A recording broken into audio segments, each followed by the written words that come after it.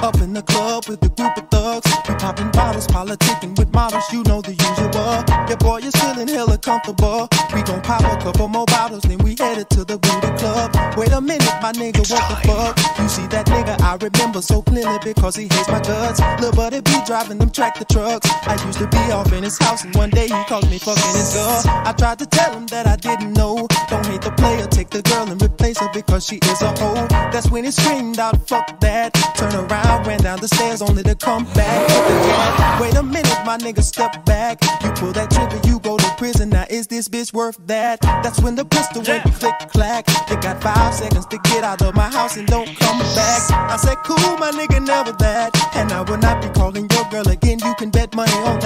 That's when I pushed the helper out my lap. I had to get the dip and he caught me slipping, player. I wasn't strapped. Jumped out the window, raced down the street. Thinking my life is more important than my car because I left my keys. It was a four door Bentley.